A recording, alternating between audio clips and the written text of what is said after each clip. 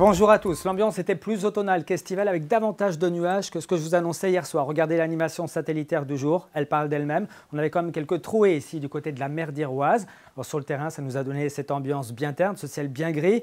Une météo qui faisait grise mine, donc ici à Dinard avec 18 degrés au thermomètre cet après-midi, quand il en faisait 17 à l'île de Saint, oui, mais avec de jolis coins de ciel bleu. On poursuit avec la carte technique de ce mercredi.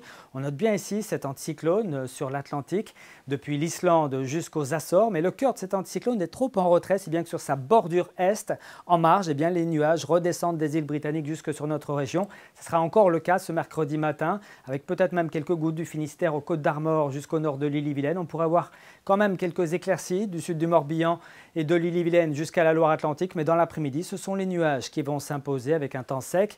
Quelques trouées seront possibles entre la presqu'île de Ruisse et puis euh, la côte d'Amour. Notez le vent qui se renforcera un petit peu, 30-40 km/h de secteur ouest-nord-ouest, avec des températures toujours bien trop basses pour euh, la saison. Ça remontera à partir de jeudi et de vendredi, mais en attendant, eh bien, il faudra se contenter de 12 degrés au petit matin. Ici, par exemple, à Rostronin, vous aurez 14 degrés à Brest, à Rennes, 15 degrés pour Saint-Nazaire, et puis dans l'après-midi, à Mercure qui affichera 17 degrés seulement à Ouessant, 18 pour Brignogan ou encore pour Lannion. Vous aurez 19 entre euh, Erquy et puis Saint-Malo, 20 degrés pour Fougères et Vitré, 22 à Rennes qu'on retrouvera du côté de Redon, en passant par 21 à Lorient et à Vannes, et jusqu'à 23 degrés pour Anceny et Clisson. On regarde la suite avec une journée de jeudi.